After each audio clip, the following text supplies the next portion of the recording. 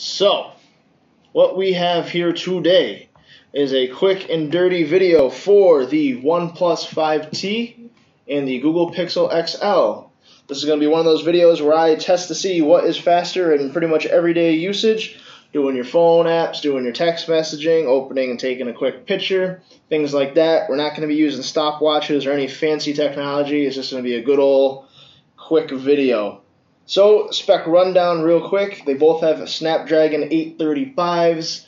They both are new 18 by 9 aspect ratios. The Pixel has 4 gigabytes of RAM and IP67 water resistance, no headphone jack, and a single camera with fingerprint sensor on the back.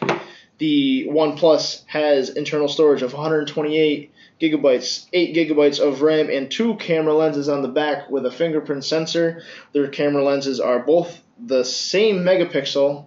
They do the same thing, except one is tuned for low light to help with its photography, and Google relies on AI to make its pictures better. So, other than that, these phones are very similar, both USB C, both have very highly passionate audiences. This was released in November. This was released around September, October. They're both very new. So, they should have no problem. I'm going to clear out all the apps on both of these devices and we're going to get right to it. So, this is going to just to be safe and see what apps load the quickest. Uh, my prediction is they're going to be fairly equal, but I'm probably going to say the OnePlus is going to take it just because of the more RAM and the faster animations. So let's see. OnePlus had the phone. OnePlus had the texts. Pixel barely beat it out for the Play Store. Let's do Chrome. About the same. Let's do some Gmail. One the Pixel had that. Let's do Maps. The Pixel had that also. Let's load up the camera. Uh, being I couldn't actually see what was going on, let's uh, close these apps again and try to do that camera. Lift it up a little bit so we get some, uh, so we can see here. Three, two, one. I'd say the OnePlus had it. Uh, let's go over to some other apps. Let's do the clock. OnePlus. Let's do the calculator. About even. So I think really it's going to be a lot of apps are going to open faster on this just because of that little bit of extra RAM. But the app isn't going to probably run too much better with the extra RAM because only some apps are going to utilize it. I'd say a lot of the I wouldn't call lag, but the slowness of the Pixel XL comparison is due to the animation speed. Uh, that is a little more uh, creative animation than the OnePlus. I feel like the OnePlus just went into their developer options and sped it up. Um, if you look at the Geekbench score for both of these phones, the OnePlus does have a faster Geekbench, which I ran earlier. I'm not going to sit here and have it do it on camera. Uh, but if you can see, the OnePlus had a single core of 1969 compared to the Pixel's 1886, and the multi-core score on the OnePlus was 6657, and on the Pixel was 6364. It's about 300 points different on multi-core, and under about 80 points on the single core. Now, I haven't heard any discrepancy with OnePlus yet about their tweaking of benchmarks before they did um, come out and say that when they ran benchmarks like Antutu, Geekbench, all those, they actually had it in the phone so that it used all of its power to run that benchmark. So it kind of had skewed scores because when you don't open regular apps, your, your CPU is not going to throttle all the way up just to open your phone app. It's just not how it's going to be. Um, I haven't heard anything about it, so we're going to say that it's not there. So this phone is definitely faster in benchmarks wise and in a lot of just opening and closing apps.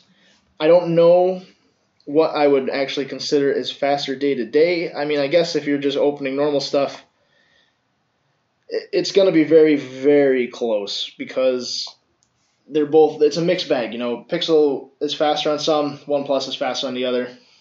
This is definitely more expensive than this. So some other differences with the phones. This has a higher resolution display. This has a 1080p display. They both are 18 by 9, but OnePlus goes to 1080p for sake of battery life, and Google Pixel has a more high def display just to kind of keep on par with other flagships, use VR, things of that nature. That doesn't mean that the OnePlus's display is bad. Actually, it's very good. It's very punchy colors, good viewing angles, doesn't suffer from that jello effect scrolling as the OnePlus 5 did. So it is very nice, and most of the time you're not even going to notice the difference between a 1080p and the higher resolution, only in certain things.